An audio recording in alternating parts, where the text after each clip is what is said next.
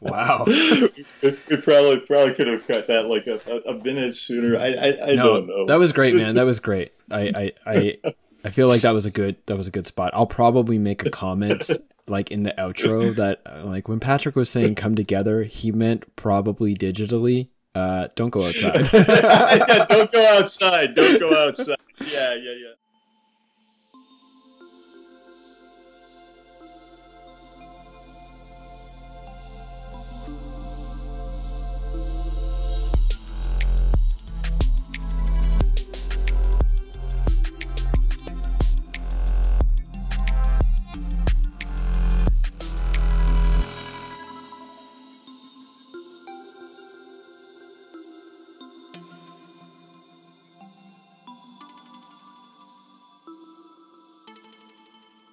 Hello, everyone. Welcome to Adventures Through the Mind. I'm your host, as always, James W. Jesso.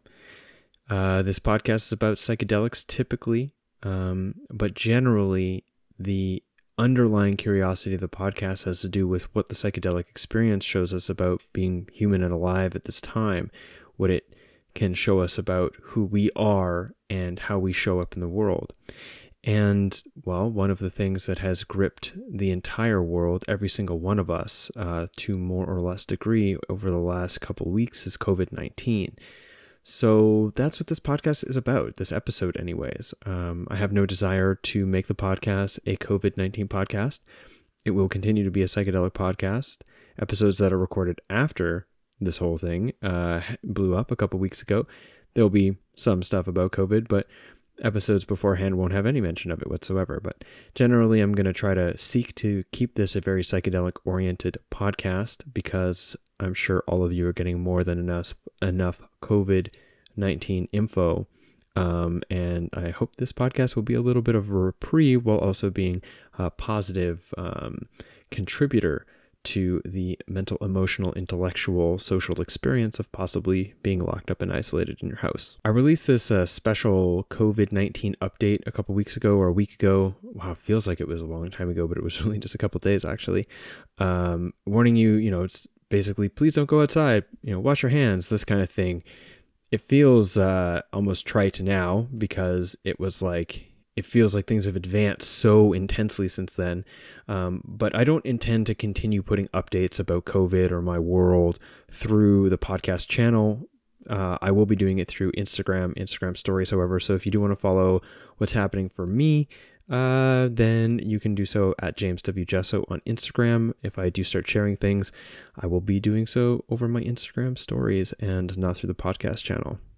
Although a little update for you now physically, I am well. Um, the people I am in a pod with, that includes my partner and my very good friend and housemate, um, we are all well and we're doing our best in the midst of all of this.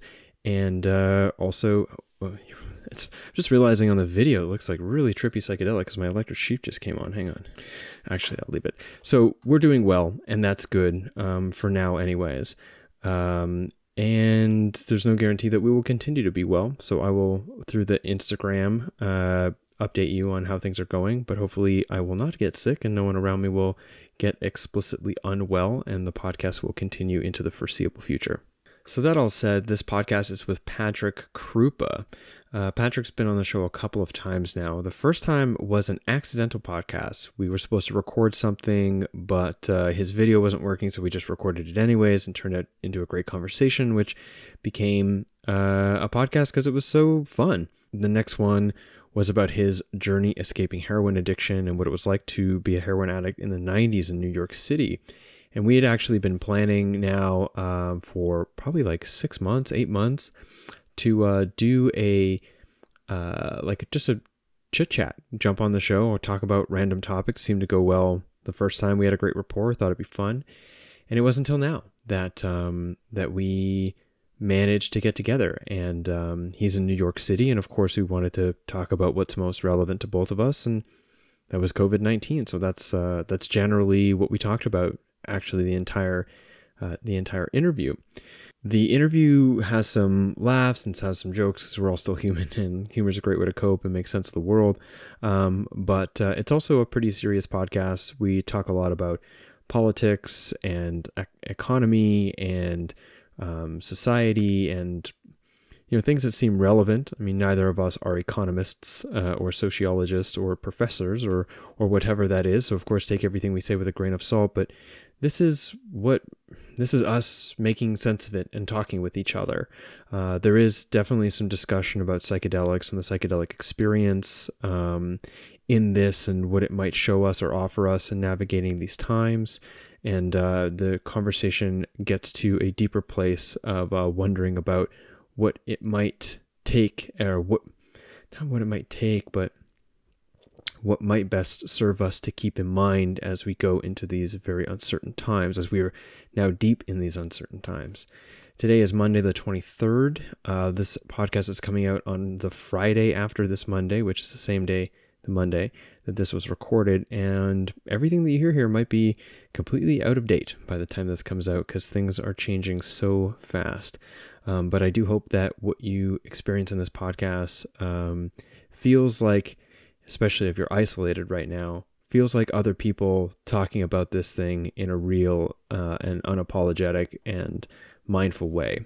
Um, because I don't know how much of that you might be getting in your life right now. Uh, before we get into that interview, though, I'm going to send out a big thanks to my patrons on Patreon who continue to support me uh, over the last while, some of you for a few days, others of you for more than a year. So, a big thank you to those patrons. Um, you have made it so that I am yet to, to see the grand consequences of the economic uh, downturn that we're experiencing as a world right now. So, I appreciate that. I especially appreciate the people whose names are listed on the screen here on YouTube or in the show notes to this episode at jameswjesso.com because uh, they give significantly. So thank you very much to those people as well. If you're not a patron and you would like to become one, um, if you are not negatively impacted financially by the COVID 19 um, pandemic, then please consider uh, donating, or sorry, donating, but contributing, pledging to the Patreon. And you can go to jameswjesso.com forward slash support for information about doing that. Okay, uh, that's it. Um, I want to say enjoy this episode, but that feels like the wrong thing to say. Uh, I hope that what follows from here is something that feels meaningful and generative in your experience of this right now. Um, and I will see you on the outro. And your audio is good on my end. Like you sound, you sound great. All right, spectacular. So we're both here. Happy, happy Armageddon and apocalypse now. Oh yes, yeah. The hashtag Corona apocalypse is upon us. All right. How are you doing, brother? Uh, are you dealing with this? well, I'm dealing with it pretty well. Like I've been, I, I mean, I wasn't last week, honestly. Even though I've kind of had a sense that this was coming. My housemate's been following it since uh, I think since December or January. It was around January that he started talking about this thing happening in China that he thinks might turn into a big deal. And uh, it was I had been hearing him talk about it, but I was like, I trust that you are thinking about this clearly and you are checking your sources, and it's also still so far away.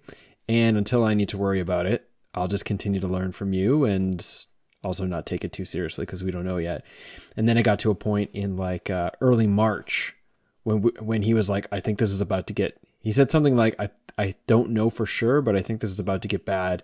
And I suspect that we'll know how bad it's going to get. Um, if it if it's going to get bad, we're going to get a sense of it in the next two weeks. Um, and then within a week it was like things were already ramping up and you know two weeks after the beginning of march and we're essentially you know that was last week that's when things got crazy here in canada insofar as government response.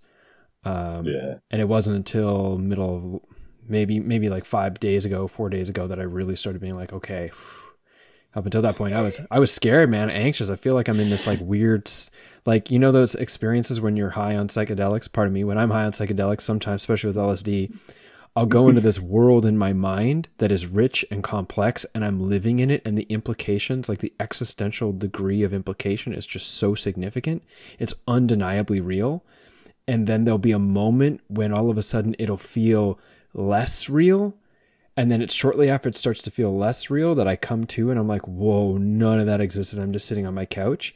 And every now and then I feel like there are these moments where it's starting to slip in, like that it's like, is this real? Like, is this happening? But as of a couple days ago, I managed to find some sort of temporary uh, sturdiness in the midst of the uncertainty because I'm locked down, not like by the government, but we have a very tight group right now, tight isolation pod or distance pod. I'm with my partner and with my one of my best friends, and we're holding down. I'm not sick yet. Um, I might have had corona like two weeks ago, but I don't know because you know, like yeah. So that's, that's like everybody. It's like, was that the flu? Was that corona? What what happened here? And it's like it, it's very hard to tell. yeah, It's uh, in in New York. It's become very very weird because it's like uh, okay, there was there's China, there's Italy, then New York is just humongous, and I have a, I mean, I have a lot of friends, uh, undoubtedly the same as you, that are scattered all over the globe, and everyone has a slightly different response to it, and uh, pretty much everyone is mellow, but it's. Uh, uh, th- there's a lot of people who just really haven't noticed at all, and it's just okay, whatever. just gonna chill out, have fun, and uh, it, it it's uh, it hasn't quite sunk in yet. But it's like every government on planet Earth is pretty much uh, responding in some manner, and uh, well, we're we're all living in this interesting time frame right now with this Mhm. happening. Mhm. It's- yeah. it's, Init- initially, we had we had gotten on the call. We are going to talk about the psychedelic renaissance. I was going to ask you some stuff. I mean, some stuff that's maybe still relevant, but it's like I don't intend in the podcast to make every episode from here on in about about COVID nineteen. no, okay, but- but- I was wondering. but uh, I mean, it is still a psychedelic podcast. But I mean, f- for the time being, it makes sense. Like this is coming out on on Friday from the time it's recording it. You know, by Friday, things that we talk about might be totally irrelevant at this point, uh, or at that point. But uh, it seems to make sense to talk about it now. I'd be curious to hear more about what's happening in New York, because from what I understood, you were going into you were going into total lockdown. Um, it hasn't quite arrived at that, that level. I mean, the mayor in New York City appears to be pushing for that, and Cuomo, who's uh, the governor in New York, is pushing back against that. So uh, it uh, basically the National Guard got called in, though. I mean, that occurred within the last 24 hours. I think Trump did that. So ostensibly, that's to help with medical supplies and.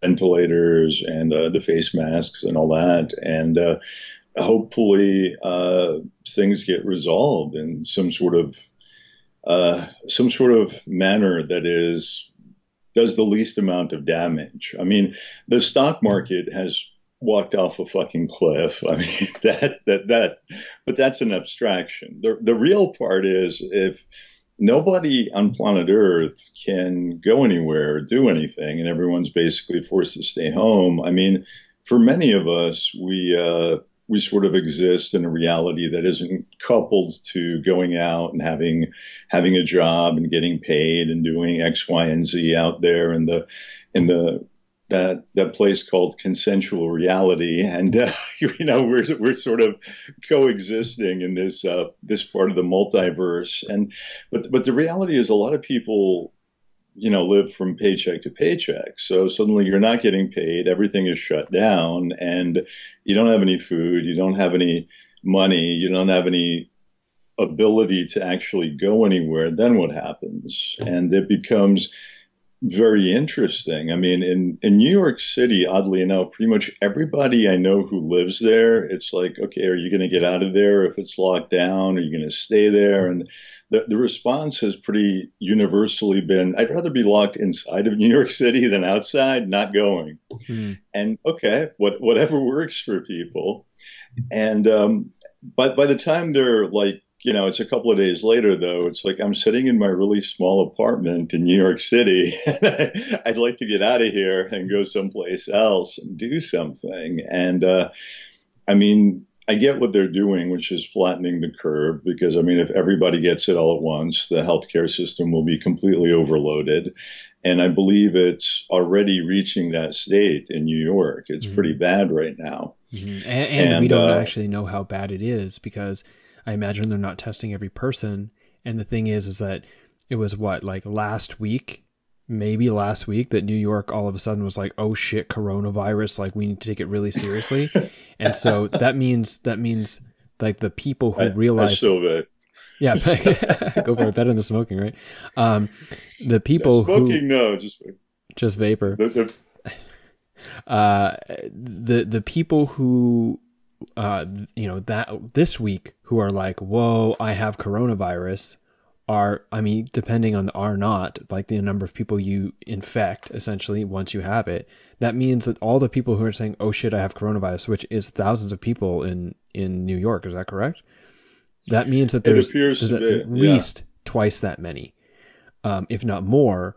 And if whatever, if you have and and that's likely going to grow because then there are still people who don't know unless social isolation takes over but we won't even see the result of social distancing like we're having it here in Canada like you guys are you know doing your best to practice in New York for another 3 weeks at least.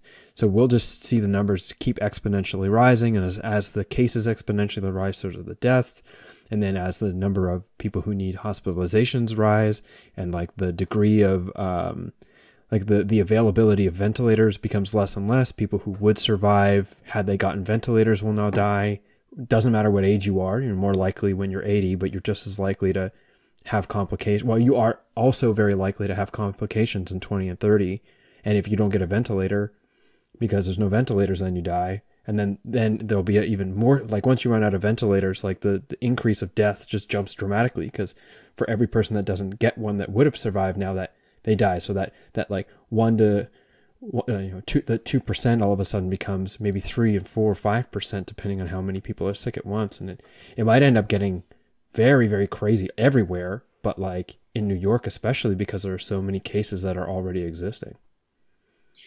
Yeah, I mean, I think it's been here for a while, and the cases did not magically come you know, they didn't arrive like 24 hours ago or three days ago. It's just New York finally started testing for what was already here. Mm-hmm. So I think it's pretty much spread out all over the place, and I think it's heading for, towards Middle America. And I know it's it's hitting uh, Vancouver, it's hitting Seattle, and uh, I guess we will we'll see what what happens with all of it. I mean, it's a pretty unique situation, and uh, it uh, I mean, actually looking at the data, how how scary is it? And the answer is, well, I mean, it's not exactly the plague. It's not that horrifying, but what what the problem is is again healthcare services getting overrun, and uh, I mean, this is the narrative that is pretty much. Uh,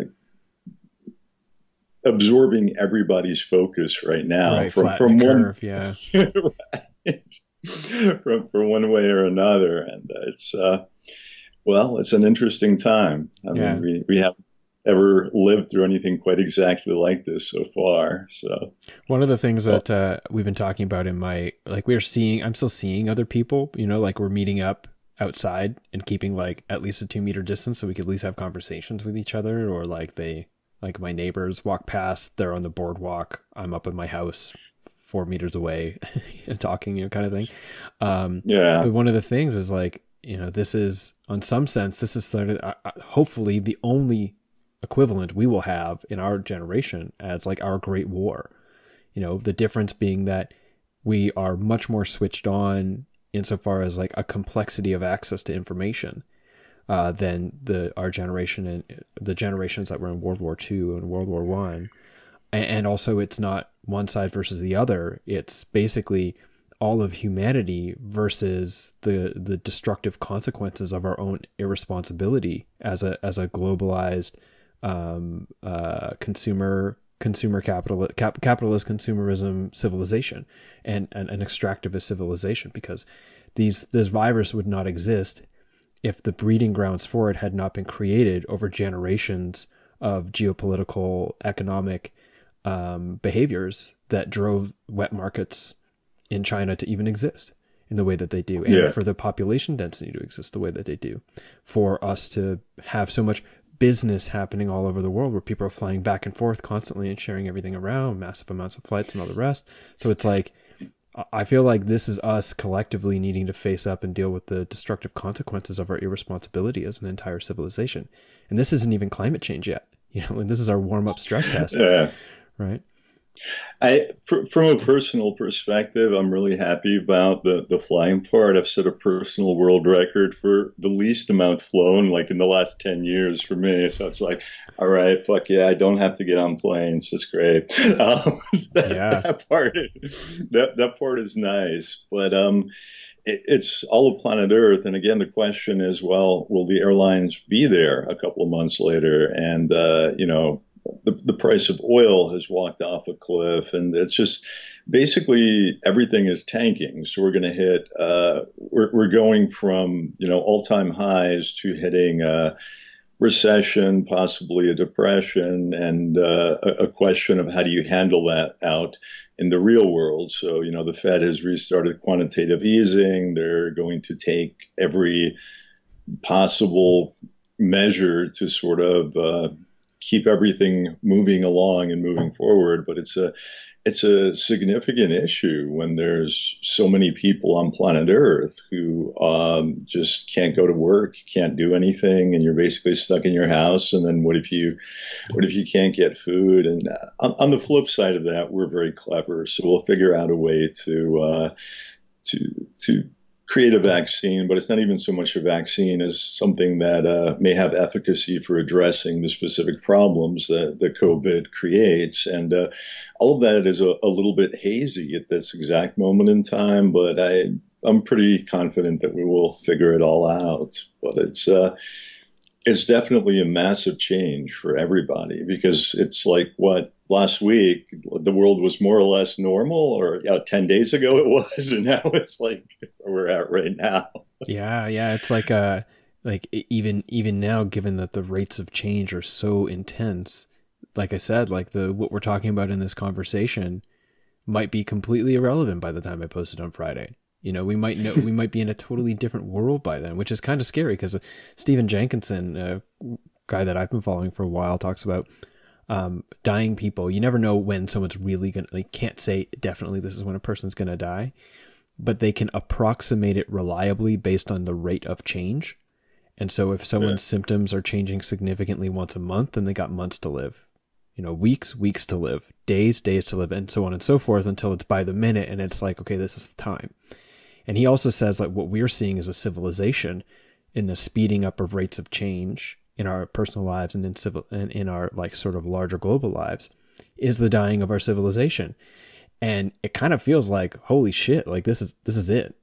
Like it's I mean, that's not to say that we're all going to die, but what we knew of of the civilization before COVID, you know, is not going to be what exists afterwards. It's it's dying right now and we're going to try to birth something new out of it. And maybe it's something closer to universal basic income or something like that. Maybe it's something where, despite the fact that people have been arguing for it for a very long time, you know, that it's not responsible to continue to leverage our entire economies on these incredibly unstable industries that are based on extraction of finite resources with the intention of infinite growth like airlines, oil industry, all the rest, that possibly it's like, oh yeah, oh shit, all it took was a virus. A not even a particularly deadly virus.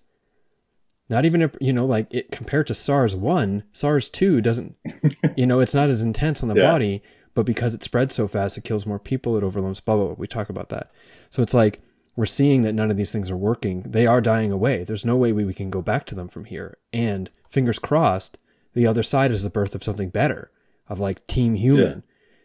Alternatively, the other side might be the dystopian totalitarian nightmare that you know that Orwell talked about that the conspiracy well, theorists yeah. have been have been proclaiming for since since conspiracy theories. I, am not going to go in that direction because I've got so many friends from the technology sector who are okay. That's the beginning. It's a uh, that we're going to have a biosecure society. Was this an accident? No, it was engineered. And there's like, okay, a lot of people have a lot of different crazy theories about what it all means and how it is manipulated. But at, at the end of the day, I just think it's something that happened, and all of us have to deal with the fallout and the consequences from it. And I'm hopeful, much as you, that a kinder, gentler society will emerge. And uh, universal basic income is something that would be a reasonable start considering the fact that okay, everybody is sitting in their houses, and you know you're not allowed to go anywhere and do anything, and uh, it it could be the birth of something significantly better, and that would be that would be an amazing thing. Mm-hmm. Yeah. Fingers crossed, I guess. But it definitely is uh, like, and maybe you can agree with me here. It is forcing. I mean, given that you're if you're not in a situation where you're living paycheck paycheck to paycheck and as a consequence of not being allowed to go to work you're just basically staring down the barrel of poverty within the next week or something assuming that you're somebody for one reason or another has a little bit of leverage between stopping working and being in poverty but you're not allowed to go out and do anything slash i mean anyone who's paying attention you're if you think that it's okay to go out and do something chances are you're wrong. That's foolish. You're hurting. You're potentially going to really hurt yourself and hurt a lot of people as a consequence of that. Um, but like it's just slowing things down, and all of a sudden, it really is like whoa, living moment to moment. I don't know what the next day is going to mean for my life, and that's a very interesting state of mind to be in. Somewhat akin to being in a psychedelic experience. Like I can't control any of this, and all I can do is just like breathe and try to attend to what's happening in the most sort of like humble you know humble way possible and lean into my safety resources as much as possible in the process which is you know the other people we're with in this which is everybody yeah. you know? Yeah. That's that's kind of like the, the, the bottom line. It's like all of us are in this together. All of us are trying to uh, see where where it leads to and uh, people do have varying responses. I mean, I, I, there's a lot of people who are just not paying attention to it at all. It's like I'm on a beach, I'm getting drunk, I'm having a party. Why are people bothering me and making me go get inside? That's that's Miami, by the way. Right yeah, now, oh, I saw that video. Oh my god, I was so disgusted and terrified. No, it's it, people just aren't really paying attention, though, dude. It's just like, okay, the world is ending. Your attention, please. It's like, what? but, uh, yeah.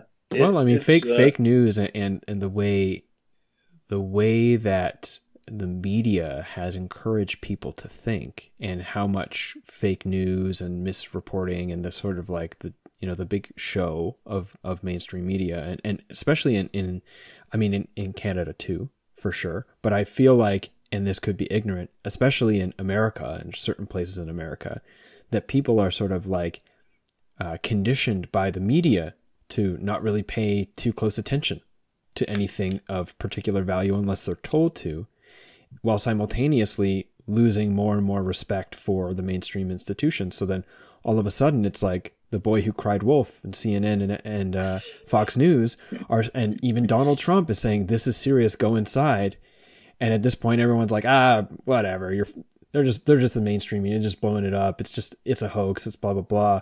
And all of a sudden, you know, like the thing that gave Trump his capacity to you know capture the minds of of, of his his constituency is the same thing that's making it so that they're not listening to him now when he's actually being like, uh, actually, it's really serious. Uh, we need you to stay inside, and it and it's yeah, especially the youth. You know, like we we were brought up to be like fuck the system, and so when the system says stay inside, we say party on. Right? Well, right, exactly, because we essentially live in 1984. What's real? It's very difficult to pull out the threads from this giant narrative and uh, ascertain what is actually happening anywhere on planet Earth. But, but I'm pretty sure that most of Earth has uh, you know, come together on the narrative that narrative that uh, COVID is real, and it's a good idea to stay inside at this point. yeah, I, I should. I, I, should hope so. People in my bubble uh, absolutely are, and seemingly people in your bubble as well. Yeah.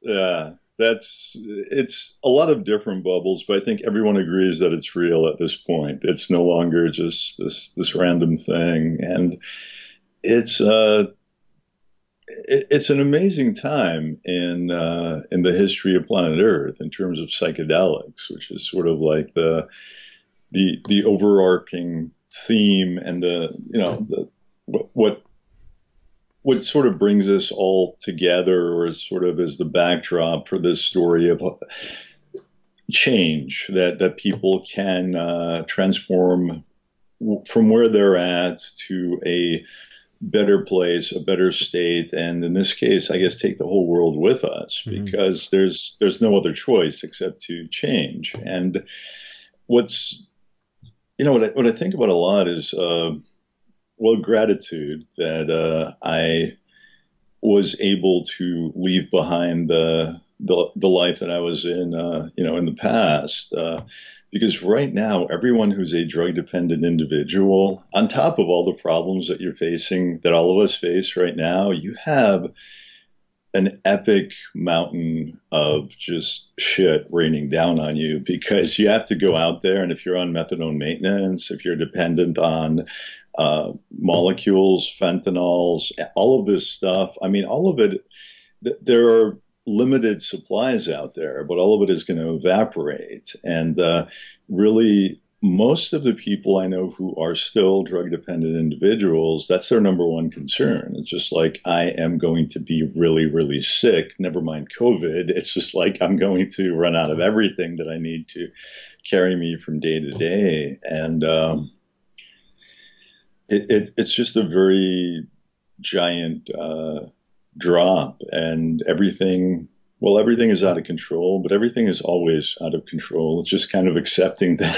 sort of surfing through chaos and trying to trying to find a destination. And uh, it, it's it, it is what it is, but we we seem to be moving towards a better place. So that part is that part is good. And um, yeah, yeah, all of this is just uh, all the different material that comes in from the people I talk to because I have uh, a lot of different peer groups from you know there's there's technology there's there's the you know the psychedelics people there there's all these different groups and everyone is concerned for slightly slightly different reasons but i think those who are most impacted are people living in poverty and people who are drug dependent and those two tend to be interrelated a lot of the time. And it's uh, you know that's a scary time because that's not the top of anyone's priority list. Oh, this guy's going to be dope sick. It's like more, you know, here's a bunch of people who are dying. So, oh well, and they're not really that worried about it. And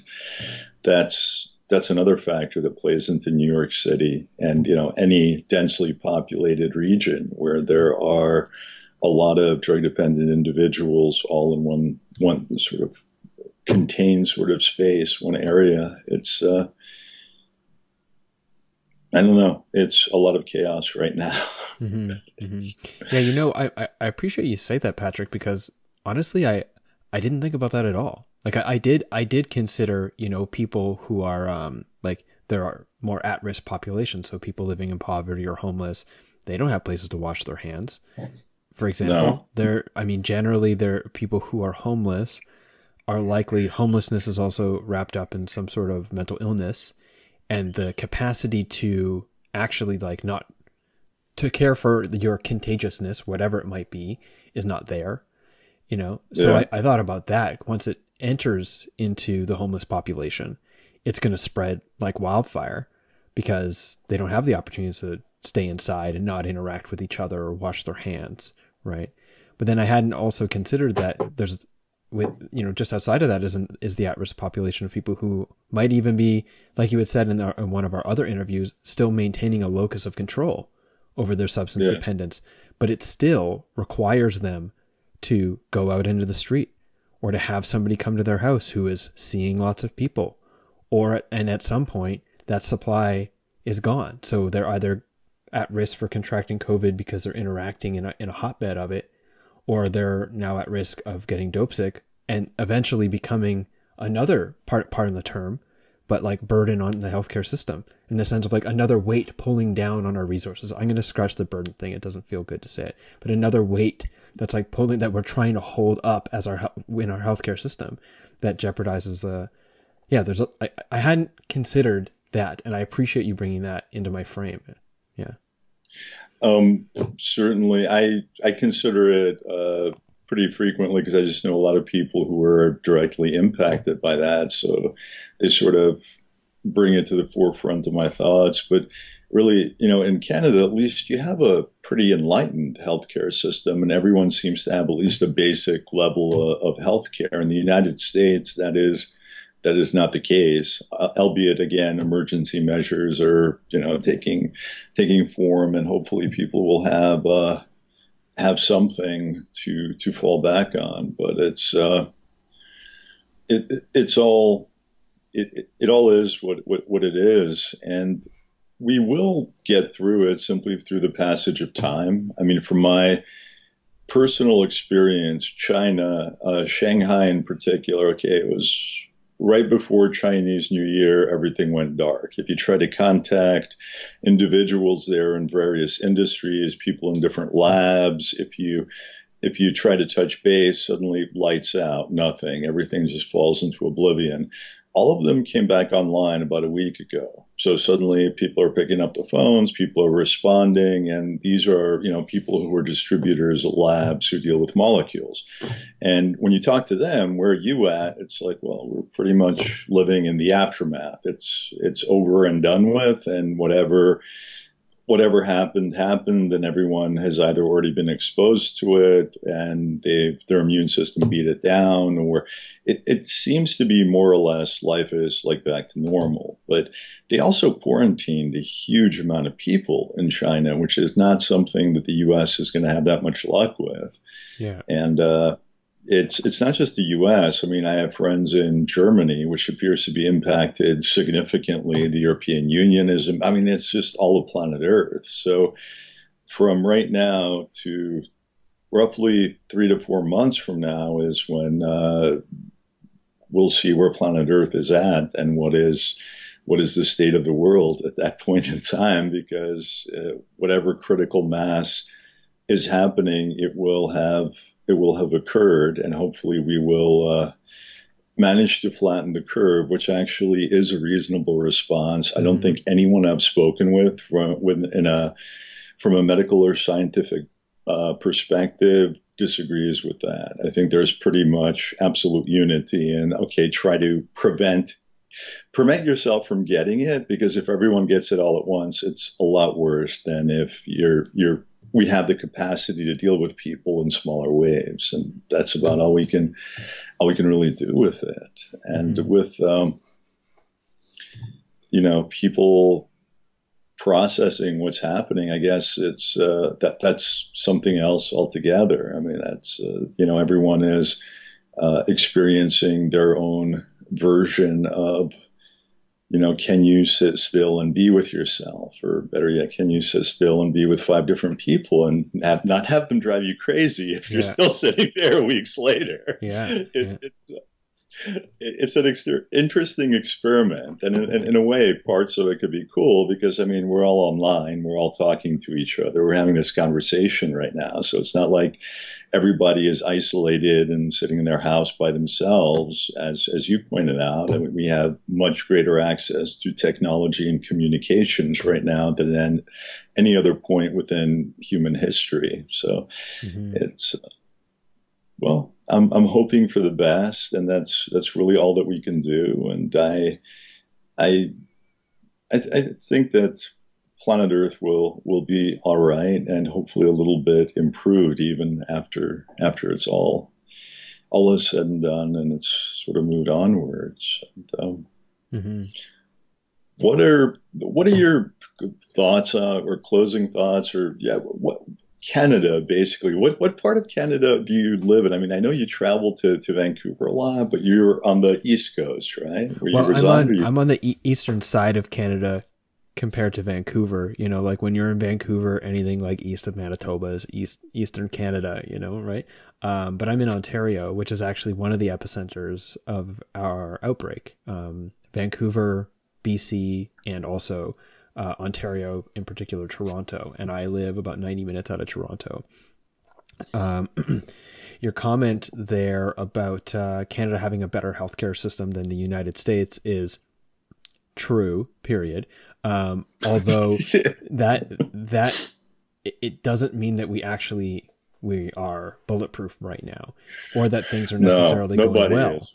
right? Because um, for sure, if I get sick with COVID and I go to the hospital, then and I survive, and I come out the other end two weeks after two weeks on a ventilator or whatever, trying you know with IVs and catheters plugged into me so that I don't die, and I come out the other end not dead, but then grappling with the consequences, I won't have thirty five thousand dollars debt just simply right. for getting medical care. I won't. However, uh, Canada's standard of care, although higher, is uh, and I'll use this term clearly here and intentionally burdened by excessive bureaucracy. Now, that excessive bureaucracy sustains the system, but then it also ends up there ends up being like a lot of like wasted there's a whole thing like a, of like wasted funds and, and poorly delivered services and long wait times and all the rest. And it's also difficult to implement things like china. You said china could go into total shutdown because china is basically an author is an authoritarian government. If china says jump an autocracy. Yeah. Yeah. You, you don't have any. If you stay, it says stay inside. You stay inside because you go to prison if you don't, or whatever, right? So you can't do that in the United States. You got too many people with guns, you know. but yeah, but in Canada it's similar because we can't just say stay inside. We have to say this is so Canadian. Like, could you please stay inside, eh? You know, but yeah, that, which is what the what Trudeau is saying. But he's also being like, look, please stay inside because the next step from here is the Emergency Measures Act. And once, or I think that's what it's called, as soon as he implements that, well, then we're in wartime. At which point he can restrict anyone's travel in any place within Canada, which means closing provincial borders, which means you can't leave your house, which means curfews, which means all the rest. Um, so that might happen. But insofar as our healthcare, um, there's like the there are two hospitals in the city that I live in. One of them's Grand River, the other one's St. Mary's. A report came out the other day that about 50 registered nurses were exposed, potentially exposed to COVID 19 at St. Mary's Hospital. And this was like four days ago. And one of the things that's like, okay, this is what collapses the healthcare system because, of course, okay, we have number of cases increasing, which means we have number of cases needing uh, medical support increasing, which means we have a load on the healthcare system eventually that load overruns and we don't have ventilators for everyone and doctors have to make the choice between like who gets a ventilator and who dies based on what's their life context. Do they have kids or are they single? Are they a 50 year old who's playing an important role as a grandfather inside of a family of a single mother? Or is it a 45 year old who is single with no kids? Which one are we going to let die right? So it's like that's intense. But it gets even more intense because the more influx and chaos in the system the more likely the healthcare workers get sick. And now it's not just that we don't have enough ventilators, we don't have enough nurses. And then the nurses yeah. are getting sick. So now we are lessening our capacity while increasing our load. And so that. right, this is part of this is part of the challenge. So of course you want to protect healthcare workers first and foremost, right? Or not first and foremost, but it's really important to protect healthcare workers. They yeah. are the front line of this of this battle against this virus, right? Um, and yet because our supplies in Canada, in Ontario in particular, is so limited. Here in Canada, in Ontario, our premier, which is sort of like, um, I mean, it's a senator that runs the state in the United States, right? Is that is that correct? Like the head of the state is the senator. Is that how that goes? Uh, uh, the governor is usually like the governor. Okay. It's uh, governor is Cuomo for New York, and uh, yeah, it, it, I'm I'm slightly more familiar with with uh, Canada's political system than I was a few years ago, but yeah. Okay, so I, so our our like equivalent of a governor would be our provincial leader, our premier, and the premier is in relationship with the prime minister. So all the Canada is essentially a federation of provinces, and there are different levels yeah. of jurisdiction from you know from federal down into provincial down into municipal or, or county level um, governments, and each ones have managed different things, and each one gets money from different places and managing different infrastructure, blah blah blah. So our sort of like head is a guy named Doug Ford, who is the brother of Rob Ford, the famous Toronto D- mayor. Doug Ford is a phenomenal human being, by the way. Just to give my personal uh, impression of him, he's a really good guy. I mean, Are this you is serious? having spoken. Yes, he's. I mean, I don't know what he does with himself. I don't know what he does like in Canada. I don't know what the perception of him is, but he was extraordinarily receptive to uh, both ibogaine, psychedelic treatments in general, and I, I, believe you just pointed out his brother was was Rob uh, Ford, who had a who, who got caught smoking crack. Significant, Right, significant yeah. substance abuse problems. So yeah, he yeah. sort of has a very open mind, open heart towards uh, psychedelic treatments and ibogaine. That's the only area where I directly have interacted with him and know well, him. I don't know the I don't know what the rest of his history is, but well, that's very interesting because I, I don't know that side of the man. I see the side of the man who, from our many of the perspective of people living in Ontario, he's sort of like our Trump light. You know, he he really? he campaigned on "Don't worry, you know, I won't cut any jobs, but I'll I'll reduce the deficit by like reducing unnecessary spending." But he also like leveraged something like he's to bring in a buck of beer policy. You know, like like Doug a buck of beer Ford kind of thing. And then when he came in, it turned out a lot of his campaign things were lies. He started cutting all these fundings and jobs from social services, education, healthcare, um, uh, social services like childcare, all the rest. Things were just getting gutted uh, in a in an absolutely abysmal way, similar to, I mean, similar to what I understand Trump kind of did. So it's interesting that when it was about him and his, he was all compassionate, whatever. But when it came to running the province, he didn't care about that. He cared about finances. Very, very conservative in that sense. But anyways, um, right now, uh, he I don't I don't know what he's doing right now. I haven't checked in today in particular, but he is efforting to do things that it's like we're all in this tough situation, and he's efforting towards like reducing the cost for staying at home. He has shut things down. He issued a state of emergency, so I'm appreciating the way he's showing up to it. But the way that the medical system is happening right now, Trudeau is claiming that we have everything that we need because he's he's he's sidestepping questions about whether or not we're going to buy medical supplies from China and other places. He's saying no, we have what we need, plus the industries are being established in order to provide what we need, and yet we don't actually have the medical supplies that we need. And here in Ontario, and I'm about to explain the 50 nurses thing, here in Ontario, I've gotten word from other people who are working in the hospitals that access to N95 masks are so limited that you don't actually have access to them. You have to go through protocol and bureaucracy to get them. And so we don't have enough masks. We do have apparently a million N95s left over from SARS 1, but they have to be checked to make sure they're viable before they're released into healthcare. That's that makes sense. But because of that, this hospital said you weren't allowed to wear the masks unless it was a COVID case and somebody came in with the flu and they weren't allowed to test for COVID because there aren't enough tests either. And so it turned out later that this guy had the flu and he had come into contact with more than 50 registered nurses because of the way the bureaucracy of the hospital was being run under the orders of like how to conduct it, from what I understand, but based on the provincial regulations right now around the masks and stuff. They we could be losing 50 nurses and they can't work yet because it's taking more than seven days to get a test back because it's so backlogged. So on the surface, it looks like wow, Trudeau's really handling it super well, and on but on the inside, it's like we're almost at the point where we have to we should be afraid, and our cases haven't even blown up yet, right? We're on that exponential curve as much as you guys are. We just have that our numbers are just lower, right? But we're yeah. still headed in the same direction as far as we know yet because we haven't seen the the social distancing come into effect, um, and likely we're going to move towards some type of like some type of quarantine shutdown within the next couple weeks, given the direction and the trajectory of the cases at this point. I I think that's identical to to New York, and I mean what you pointed out with the uh, medical personnel, first responders, all these people. I mean, they're essentially risking their lives every single day to try and help people. Yeah.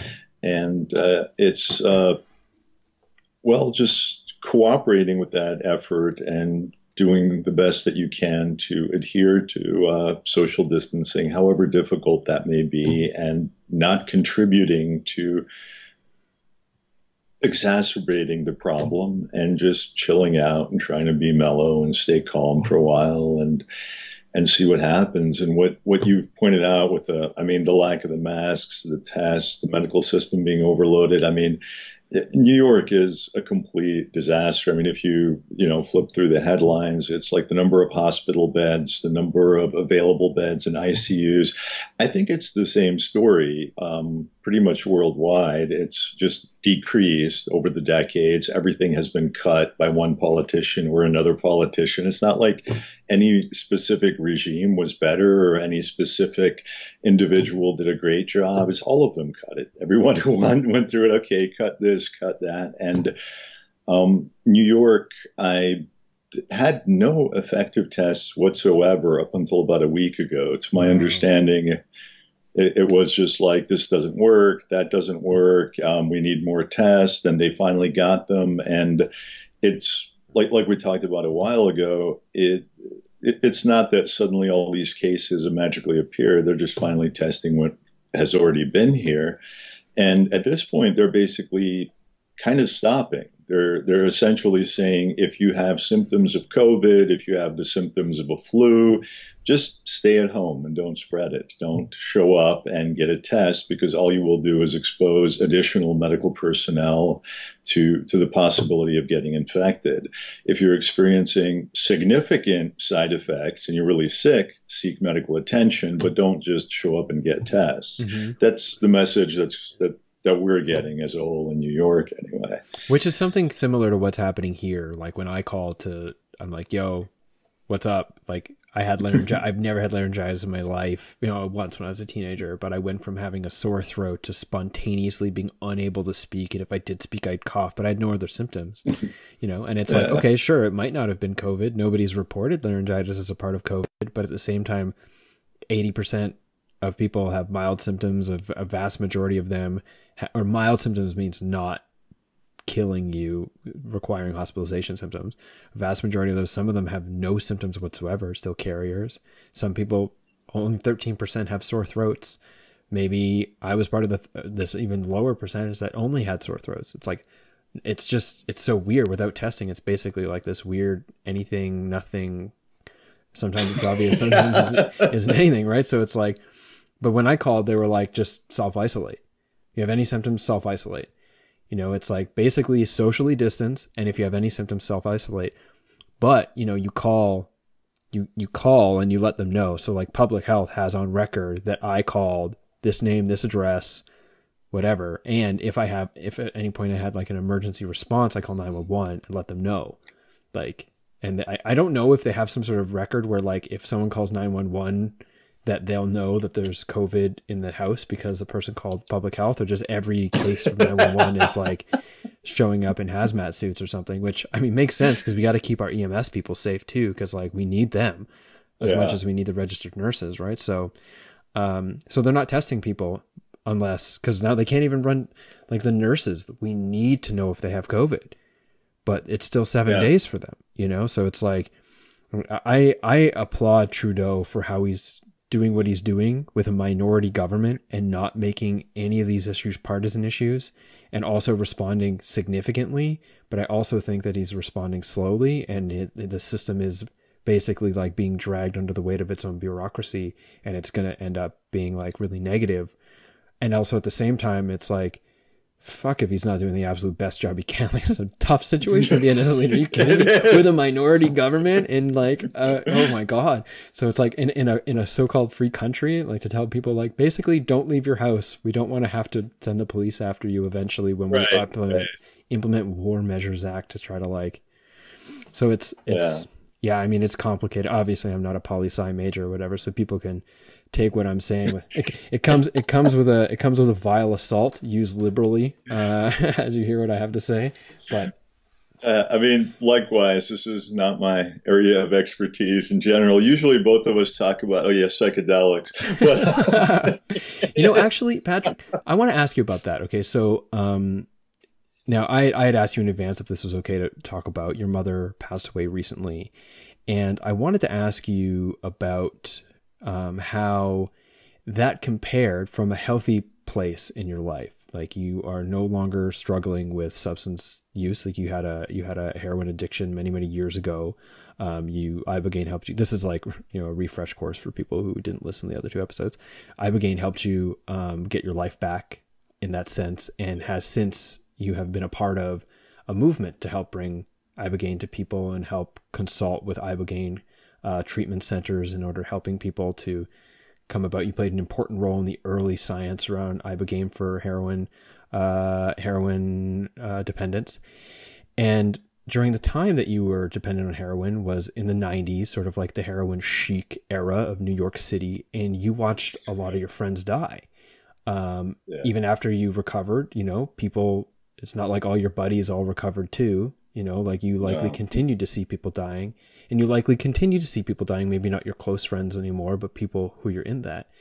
And my initial question was wondering about how that was different for you in the different stages of what it was like to watch your friends die when you were a heroin addict. Pardon the term. I know it comes with a lot of baggage, but it like addict. I I, I don't mind that term at all. I mean, you can even say junkie. I mean, without being pejorative about it. I mean, whatever. I mean, William Burroughs found that all right. It's just pick a decade, and someone will find a reason sure. to get upset about. Sure, I'll, I'll use addict then. Like, sure. Oh, okay. Yeah, I'll use addict. So I'm I'm curious about like you know the differences between watching your friends die then, watching your friends die after you've gotten clean, compared to watching your mother pass away, um, unrelated to substance use. But this is the other layer here, which is that now it's not unreasonable to say that you're likely going to watch your friends die of COVID or of complications related to the impact of COVID socially. I don't know where the question is here, and I know that I'm asking you to go to a pretty deep place, and I appreciate you, you know, in advance saying that this was okay to ask you this. But yeah. w- what do you like? How are you relating to this? Like, how do those all those past experiences show up now as you're facing the reality of of watching your friends, watching possibly your friends and people you know die of COVID, having given the experiences you've had over the past few decades? Well, from a a personal perspective. I mean, based upon my previous lifestyle, I'm not sure you'd call them choices, but I'm I'm roughly 20 years past my expiration date, and every day I don't burst into flames is a good day. So mm-hmm. Uh, statistically speaking, the odds that I would be here right now are, are pretty low. Um, while I was actively using, you know, hard drugs, uh, I been clinically dead three times that I know about.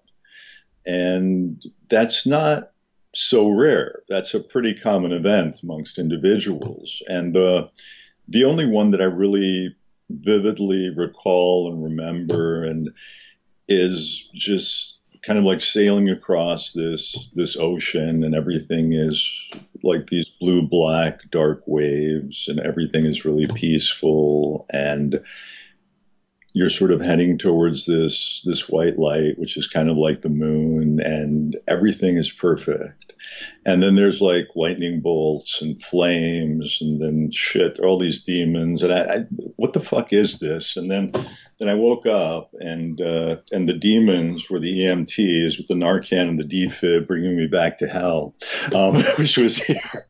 Wow. but, um, no, that that was that was that was the only one that I have any recollection of. The others were like, okay, whatever. You did, you know, Narcan, defib, you kickstarted your heart, you're back. And what happens after those moments when you're strung out is absolutely nothing. The only recollection that I really have is, wow, that was really good. I hope that stamp is still out because I got to get more of that. Wow. Yeah. And, and, and, that's an that's an identical response that you will get from pretty much every drug dependent individual. Oh, hey, you were clinically dead or you almost died. Really? Well, that was really good materials. I'd like to get more of them. Um, watching people just cease to exist while you're w- living within that lifestyle, it becomes something that you're used to.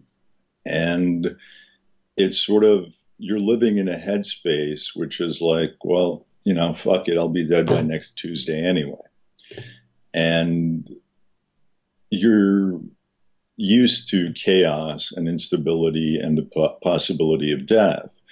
It's uh, part of active addiction. And I think that if you spoke with any given collection of individuals who have survived that, all of us have sort of a shared experience of, uh, I don't know whether you want to call it survivor's guilt or just why am I here when statistically speaking I should have been dead a long time ago and why did all these people die? Hmm. And okay, so that's active addiction. So you watch a lot of your friends uh, overdose and die, and do you really process it at that time? Not so much. You're just viewing that as part of everyday reality. And then moving moving forward and looking back at all that, what happened to all these people? And uh, a large number of them are, well, they're dead. Uh, some of them are in, in prison for one reason or another. A lot of them are whereabouts unknown. And at, at a certain point in time, I mean, I've made it to, you know, I've passed half a century. I mean, I'm 51 right now. I, I never thought I'd make it to 18. I never thought I'd make it to 21. It's just like, okay, here I am. I'm still, I'm still alive.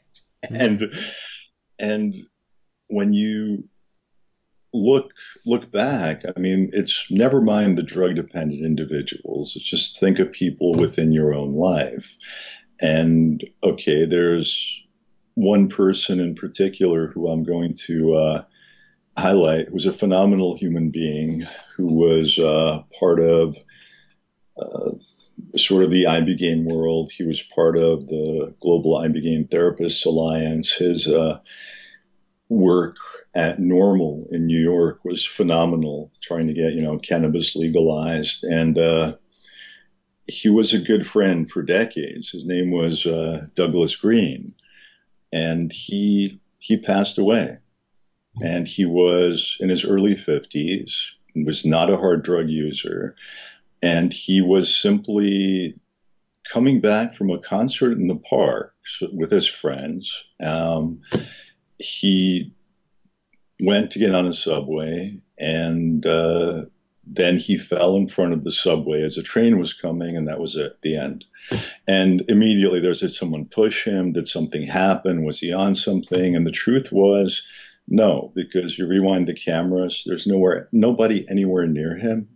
Uh, what were his health problems? The answers are, you know, nothing uh, tremendous. There's nothing in his system that would have, uh, I mean, he didn't overdose. He didn't, I mean, nobody knows except for the fact that he was really tired because he was constantly working on trying to get legislation passed in New York to legalize cannabis. He was working his day job, which was working for an attorney, and he was just tired. He fell in front of a train, and okay, here's this guy I expected to be talking to for decades, who was a good friend of mine, and what were his actual risk factors? Pretty much nothing. He was doing everything right, taking care of his health. He was, and he's gone. That made a huge impact because it was so unexpected. This was, you know, a person who was not in any high risk category whatsoever. And he eventually, he died of exhaustion. He fell asleep in the wrong place at the wrong time. Mm.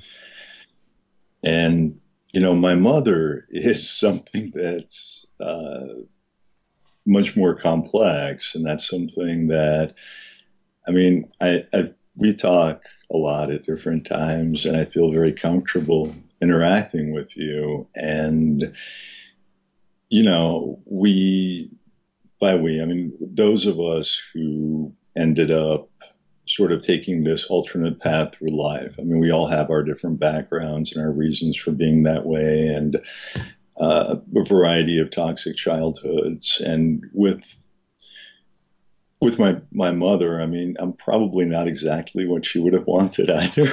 Right. yeah. um, but uh, strangely enough, I had sort of the ideal opportunity to to say goodbye to her because she was uh, in her mid 80s. Uh, over the two two and a half years leading up to her death, I would get a call from a hospital like roughly four or five times a year, and it was the same call. And it's like, if you ever want to see your mother alive again, get in the car, drive immediately because we're going to lose her. She's she's going to die. And there's there's that feeling you get when you're like looking at, at someone who you love, who you have, I mean, the longest relationship with that you know you can have with anybody. I mean, she's my mother, mm-hmm. and you know she's she was actually on a respirator multiple times and it's like okay she's this is it. And what you're thinking is i i wish i had said these things. I wish i had done this. If i just had another five minutes this is what i would this is what i would do. And in my case i had that opportunity about six or seven times in a row, for which I am incredibly grateful because it's she's gone, but then it's like, oh hey, we're just kidding, not really, and they keep they keep bringing her back. Right. So it was like, okay, she's dead, and now she's back off the respirator, and I have the nurse walking out, the doctor, your your mother is like screaming at all of us, ripping things out of her, telling us we're incompetent. And could you tell us what's her usual mental state? That sounds about normal for my mom. yeah. Okay. Yeah. So, yeah. So, so I actually had the best relationship with my mother towards the end that I had had in decades. And at the very, very end of her life, I mean, she wasn't there. I would, I would talk to my mom and it's like, where are you? And she's in a castle in a really beautiful forest somewhere in the Czech Republic, which is where she was from. Mm. Piece of fuck out of being in an ICU. Good for you, mom. Yeah.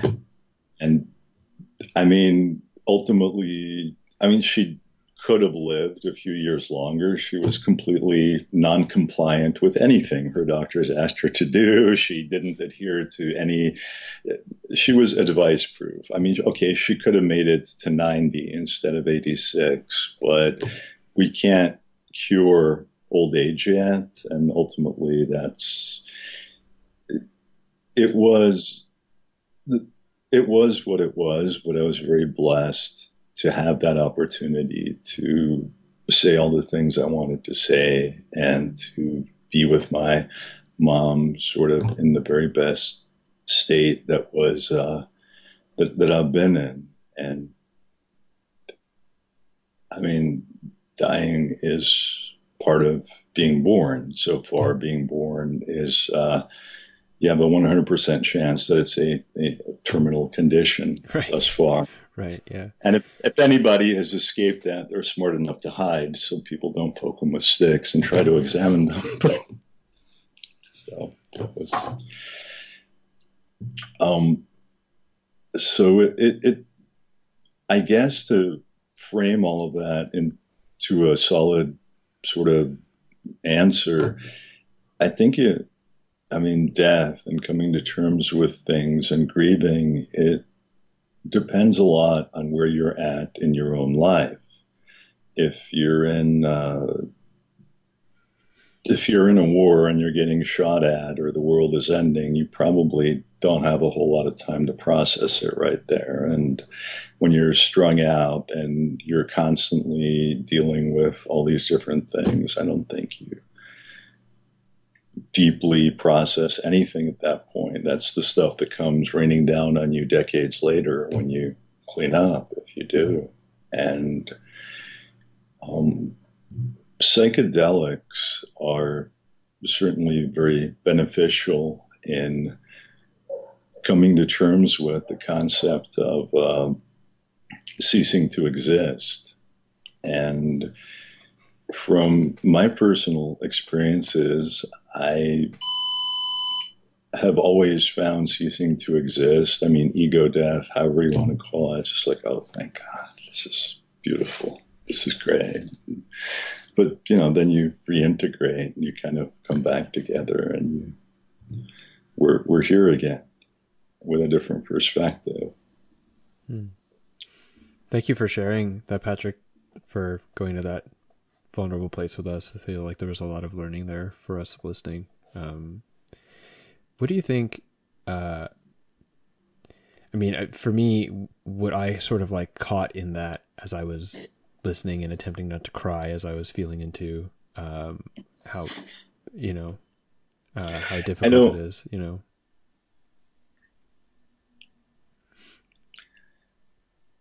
it's uh,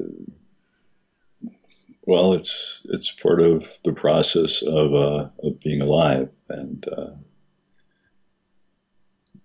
I mean, all of us need to grieve. All of us need to uh, sort of process what's happened, and even that's not true. A lot of people structure their whole lives so they don't process anything. They try to put everything off so they can ignore it in different ways. And, you know, right now we're in a time where everyone is sort of, uh, you know, experiencing a lot of uh, fear and uncertainty because, you know, the, the, future is very random. But, um, yeah, I, I, I was grateful for the opportunity to uh, go go through that whole process the way that it actually unfolded. Because at the end of the day, I I had all the opportunities, I had all the chances that I wanted to reconnect, to say everything, to do everything, and um, finally, I mean, it was, you know, I, I even had, uh,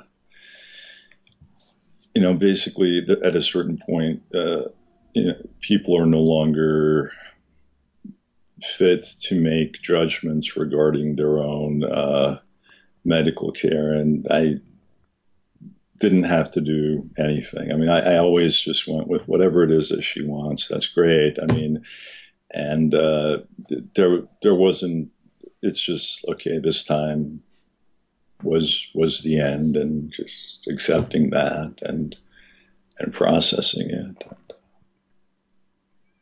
That was. So. Mm-hmm. Why don't we just like um, uh, take a breather? I'm gonna make this a point that we cut the show for a second, and then we'll jump back in. So, from this point on, we're not recording. So, all right. Well, I uh, that's the first time I've uh, you know talked about that. So that was that was uh that was difficult, but not. It was it was a good thing. Thank you. Mm-hmm.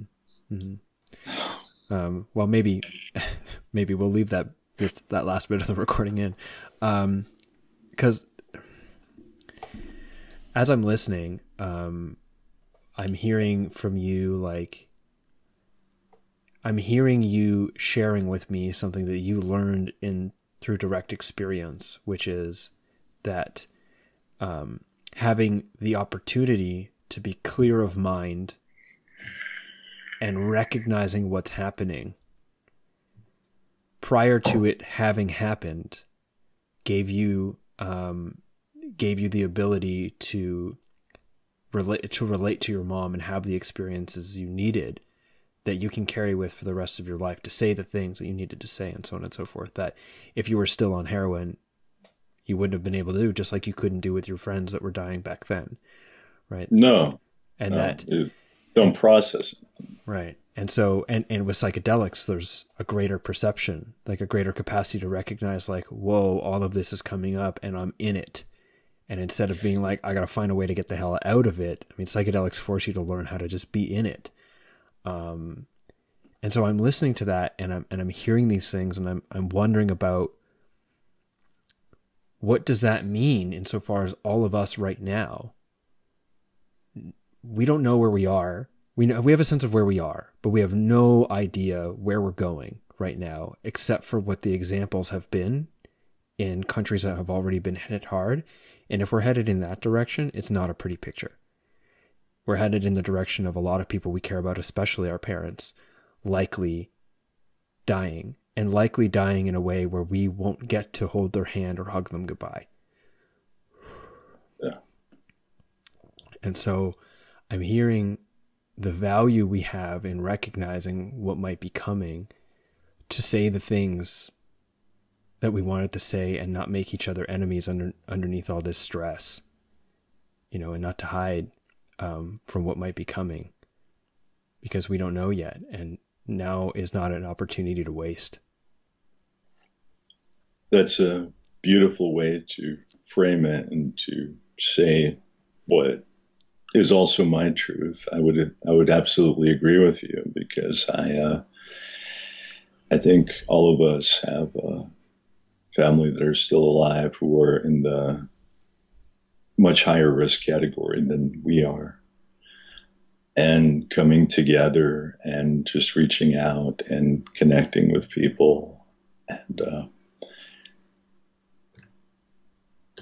l- letting them know. Yeah. And just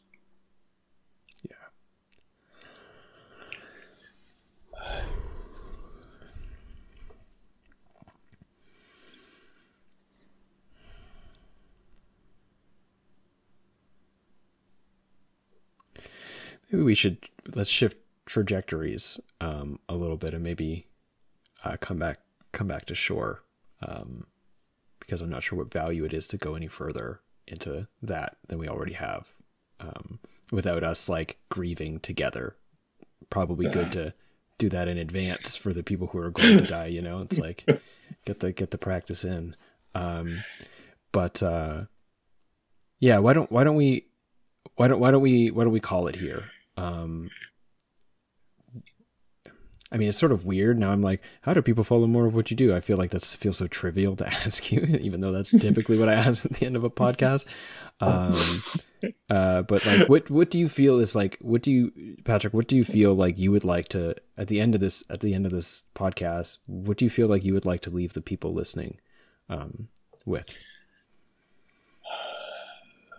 Well, it's really beautiful looking outside my window. It's snowing right now. Probably it, it does a lot of that where you're at right now. Well, it's it's not snowing right now, but it has been snowing all morning. So, yeah. I just try to drop all the shit and don't worry about it. Focus on your heart if you can. And if you can't, then just focus on anything until you can turn your brain down, until you can make your mind uh, not upset you about what's happening with the world because the world will keep going. Uh, share love with those around you that you care about. Let them know that they are loved. And um, come, come together with your friends and your family because we're all part of the same community. We're all part of this world. And all of us are going through exactly the same thing. And um, much love to everybody who is listening to us, everybody who is part of our lives, and try to experience joy. What what teaches me joy are things that are very random and completely outside of myself. I mean, I have a I have a a puppy who's like six months old, and every morning that's complete chaos. Every day that's complete chaos. He just like runs in. He's ridiculously thrilled. He's a German Shepherd who's getting bigger and bigger and bigger. And it's like, okay, you just stole a bunch of shit out of my office, and there went this, and there went that, and he doesn't know about COVID. He doesn't care. He's he's happy. It's um, just experience being human. Don't feel obligated to listen to doom coming in on the internet 24 hours a day. Just shut the shit down and do something that makes you happy and brings you into a better space and brings you around those that you love. And if that is FaceTime or video or whatever, then do that. But just, you know, you're not I don't think any of us are obligated to listen to bad news 24 hours a day. It'll still be there when we get back to it. If you're, if you're sitting, in, yeah, that's one thing we can rely on right now. if we're sitting in our houses, I mean, it's like the, what is it that you're going to miss in the four or five hours you're not paying attention? Don't go outdoors in groups. Don't. I mean, just try to relax and be human and be well and this too will pass. Yeah, well, um, thank you, Patrick, for your time today, for opening up so vulnerably about such um, sensitive but also incredibly important um, and relevant topics uh, today for us to hold on to. Um, and I truly and sincerely hope you safety um, and uh, throughout the course of this this pandemic uh, as it rolls out in our world.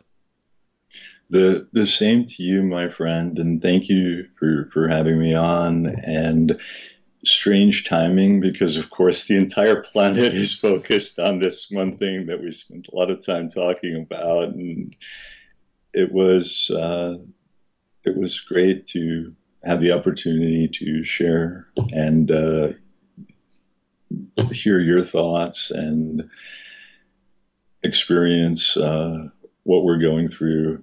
Uh, the, this whole journey is very interesting, and I am very hopeful for a positive outcome for all of us. Yeah, me too. Thanks. Cheers. And cut. Okay, that is this episode now. Thank you very much for listening. Um, as you heard at the very, very, very beginning before the intro, um, Patrick was not intending to encourage you to physically go out and visit your family and friends, uh, but digitally, um, practicing as much social distancing and uh, very tight controls of your interactions as much as possible to, of course, as we talked about, and how, as you've heard many times now, flatten the curve, flatten the curve and prevent the continuous spread of this illness. But either way, very much so encouraging to connect with the people that you love. Um, if you'd like to support the show, you could share this with a friend. That'd be really great. If you're not impacted economically by the COVID 19 pandemic and you would like to contribute financially to the show, the best way to do that is through Patreon, which you can do uh, by heading to patreon.com forward slash James W. Jesso or head to jameswjesso.com forward slash support to see different options that exist there uh, to financially support the show. So I will see you in about two weeks from now when we will both, uh, when we will all be, I imagine, in an incredibly different world than than even a few days ago, um, even possibly radically different um, from the time I record this to the time that it releases. Um, but I truly and honestly hope and wish for you and your family and your loved ones and their loved ones and their families um, safety in this time. So Thanks, and I'll see you in the next episode. Take care.